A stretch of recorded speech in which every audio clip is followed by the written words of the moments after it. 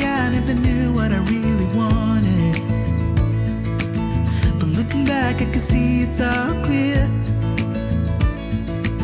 I'm still a kid trying to act like they all taught me. But nothing makes sense anymore. Hello दोस्तों good morning welcome back to the channel और आज है weekend और kiwi and all खा के यहाँ पे बच्चे पजल पजल कर रहे हैं और गोभी के पराठे बन रहे हैं, पर थोड़े डिफरेंट तरह से ट्रायंगल शेप में, जो जिस तरह से मम्मी बनाते हैं। और आज हमने पापा को सुबह से बुद्धू बना के रखा है कि आज ब्रेकफास्ट में, पूछे, क्या बनेगा आज ब्रेकफास्ट में कुछ नहीं। कुछ नहीं बनेगा आज ब्रेकफास्ट आज सीधे हम लंच करेंगे। तो बेचारे इधर उधर घूम रहे अब आके देख के गए। अच्छा अच्छा बन रहा बन रहा है। ये पजल्स कोलकाता से आए हैं। गिफ्ट में भेजा है किसी ने? Look, मम्मी के अपार्टमेंट में से। काफ़ी सारे गिफ्ट्स आए हैं इनके लिए। ऐसे ही छोटे छोटे टॉयज तो दोनों लगे हुए हैं। Mickey Mouse puzzles. मैंने सारी शॉपिंग तो दिखा दी बट सबसे इम्पोर्टेंट शॉपिंग तो मैंने दिखाई नहीं। किसी ने इतने सारे चप्पल और जूते लेके आया है एक सैंडल तो ये और सारे वुडलैंड ना? सारे वुडलैंड दिखाऊँगी वो भी एकदम रॉक स्टार वाले शूज़ बूट्स जूते का दुकान लगा सकते हैं बिल्कुल लगा सकते हैं। अभी हम जा रहे हैं वॉलमार्ट मिट्टी लाने सीट लाने कुछ कोई डेट पे नहीं जा रहे हैं हम लोग। डेट पे नहीं जा रहे पर आप बच्चे नहीं तो हमारे लिए यही डेट है। और बच्चे भी बड़े खुशी खुशी होके बोलते हैं हाँ हाँ जाओ अब हम ग्रोसरी शॉपिंग भी शांति से कर पाते हैं। कोई चिड़चिड़ नहीं मम्मा ये दिला दो वो दिला दो तो खर्चा भी कम होता है। ग्रोसरी शॉपिंग अकेले जाने से बहुत पैसे बचते हैं। पैसे से ज़्यादा शांति मिलती है। मिलती है। और इससे पहले कि मैं फिर से भूल जाऊँ मुझे बहुत सारे कमेंट्स आ रहे थे कि नाना नानी है तो मैं दादू क्यों बोल रही हूँ तो जो लोग बहुत पहले से देख रहे हैं और जो बंगाली है, उनको तो पता है पर जो नए दोस्त हैं उनके लिए बता दूँ कि बंगाली में नानी को दीदा बोलते हैं और जो नानू होते हैं उनको दादू ही बोलते हैं लाइक दोनों तरफ़ के ग्रैंड पेरेंट्स को हम दादू ही बोलते हैं इसीलिए ये दादू बोलते हैं मेरे साथ भी ऐसा हुआ था मैं भी कंफ्यूज था कुछ दिन हाँ। तक ये दादू दादू हाँ। तो नानू तो दादी होता है। हाँ और पापा को हम बाबा बोलते हैं, जैसे मैं माँ बोलती हूँ और बाबा बोलती हूँ। तो बाबा जैसे बहुत लोग दादाजी को भी बाबा बोलते हैं, पर बंगाली में पापा को भी बाबा बोलते हैं।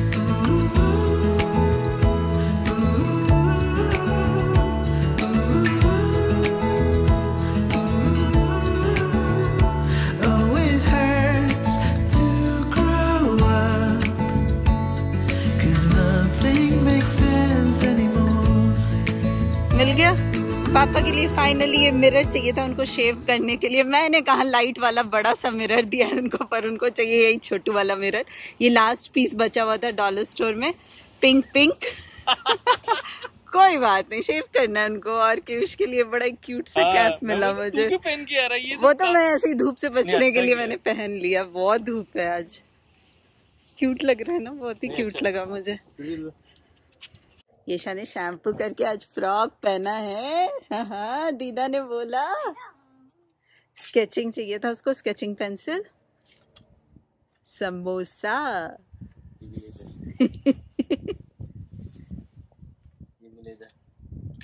वो दे दे मुझे मैं के उसके लिए। जल्दी जल्दी। What we got?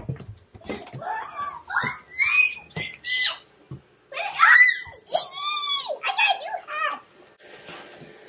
हैप्पी दादू हैप्पी दादू हैप्पी ফাইন ফাইন একটাই লাস্ট বেঁচে ছিল এই দে। Didi.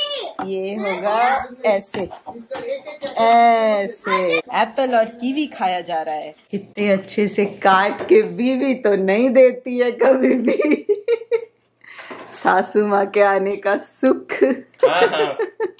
और यहाँ पे कुछ स्पेशल बन रहा है आज। पालोंग सागर घोंटो। पालोंग सागर घोंटो। पालोंग साग मतलब पालक।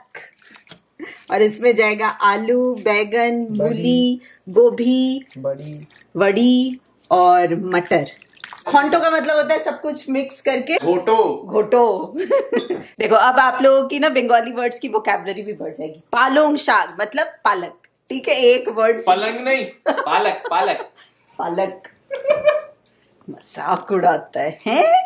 टाइम इतनी जल्दी भागता है वन वीक हो भी गया तो वन वीक मैंने बिल्कुल मम्मी को किचन में आने ही नहीं दिया था बट फिर मैंने नोटिस किया कि वो बैठे बैठे बोर हो जा रहे इसलिए उन्होंने बोला कि चलो, पकड़ लो अपना किचन जितना आप कर सकते हो, उतना करो, ताकि हमें भी बंगाली फ़ूड खाने को मिले। सबसे पहले हम वड़ियों को फ्राई कर रहे हैं। उड़द दाल की वड़ी है ये। यहाँ पे बना रहे हैं हम पाँच फोरन। वहाँ पे तो मिक्स ही रहता है। काला जीरा सरसों धनिया थोड़ी सी मेथी मोड़ी तो बेसिकली सौंफ ज़्यादा। देखो क्वांटिटी एक मोड़ी दे। थोड़ा सा और सौंफ एज पर इंस्ट्रक्शन और थोड़ा सा जीरा भी। से पाँच फोरन जो होता है ना उसमें कलौंजी नहीं जाती है पर मम्मी डाल देते हैं। उसको पहले भी डाल सकते हैं स्टार्टिंग में सूखी मिर्च और कलौंजी डाल के। और फिर ये जो पाँच फोरन होता है बेसिकली उसके इंग्रेडिएंट होते हैं क्यूमिन सीड सौंफ, सरसों, मेथी और धनिया। मूली को और बैगन को पहले फ्राई कर लिया था, नमक और हल्दी लगा के और तेल में पाँच फोरन डाल के आलू, गोभी, मूली भी ऐड कर दिया है। अब इसमें जाएगा खूब सारा पालक। मेन पालक का ही होता है, साथ में सब्ज़ियाँ भी डाल सकते हैं।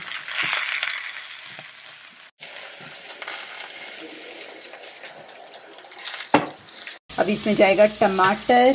अदरक भी ऊपर से जाता है ताकि वो स्टीम में पकता है ना तो उसका अलग ही फ्लेवर आता है। अभी कोई मसाला ऐड नहीं किया है लास्ट में करेंगे। बस लास्ट में थोड़ा सा नमक और कोई मसाला नहीं जाता है इसमें।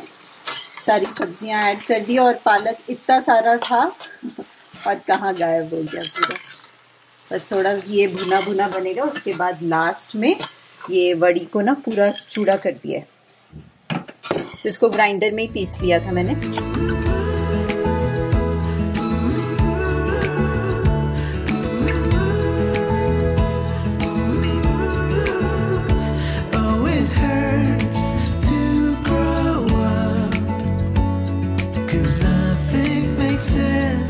सब्ज़ी तो बन गई। मैंने मॉर्निंग में ही सैमन को ना थोड़ा सा मैरिनेट करके रख दिया था। नमक, हल्दी, धनिया पाउडर जीरा पाउडर और नींबू का रस। अच्छे से नींबू का रस डाला था। तो बस फ़िश फ्राई के जैसे इसको ऑलिव ऑयल में फ्राई करूँगी।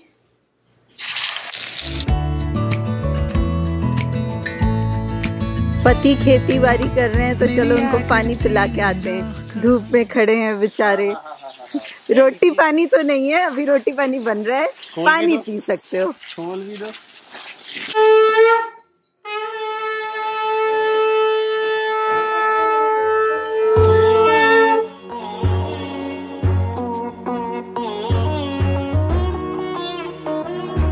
मम्मी का नी का ऑपरेशन हुआ था ना तो वो नीचे चौकरी मार के नहीं बैठ पाते इसलिए चेयर पे बैठ के पूजा करते। तो वहाँ पे भी कोलकाता में भी उनका एक फिक्स चेयर है तो यहाँ पे भी एक फिक्स चेयर रख दिया गया है मंदिर के पास और इन दोनों को भूख लग गई है तो इनको दे दिया है मैंने। अभी सब एक एक करके नहा रहे हैं। अनुज अभी तक गार्डन में ही है बोलती हूँ उनको कि खाना खा?